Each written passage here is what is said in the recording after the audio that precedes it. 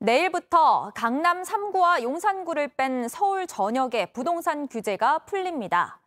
대출도 더 받을 수 있고 새 아파트를 분양받은 뒤 1년 안에 팔 수도 있고 대출, 세제, 청약 거래 등 집을 사고 파는 모든 과정에 대한 규제가 풀립니다.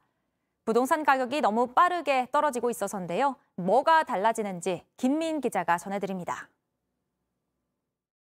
서울에서 규제가 풀리는 곳은 강남 3구와 용산 4곳을 뺀 21개 자치구입니다. 지금 거래 단절과 가격의 거의 이 추락 수준에 지나친 시장의 공포에 대해서는 우리가 명확한 좀 신호를 줄 필요가 있다는. 먼저 새 아파트에 당첨되면 들어가지 않고 팔 수 있습니다. 민간 택지 아파트를 기준으로 지금까진 서울에서 당첨된 뒤 3년간 못 팔았지만 앞으로는 1년 뒤에 팔 수 있습니다. 당첨되면 최소 2년 이상 들어가 살아야 하는 실거주 의무도 없어집니다. 대출도 늘어납니다. 무주택자는 집값의 70%까지, 다주택자는 60%까지 대출을 받을 수 있습니다. 집값이 비싸도 상관없습니다.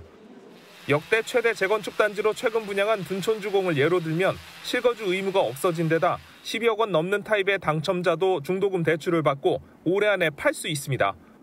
전문가들은 집값 하락 속도를 늦출 수는 있겠지만 다주택자에게 혜택이 몰리지 않게 하려면 서민들의 대출금리 부담을 줄여줘야 한다고 지적합니다.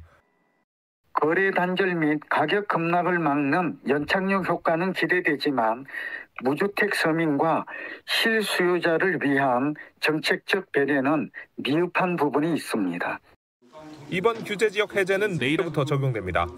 JTBC 김민입니다.